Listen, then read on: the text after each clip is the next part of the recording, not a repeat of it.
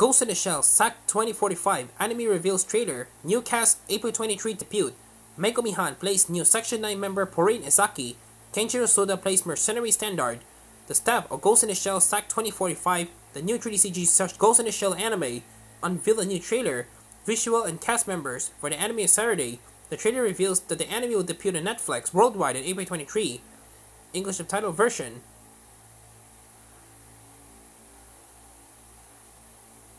The new cast members include Megumi Han as Purin Ezaki, a new Section 9 member on charge of maintaining the Tachikomas, and Kenjiro Tsuda as Standard, a mercenary currently attached to Section 9.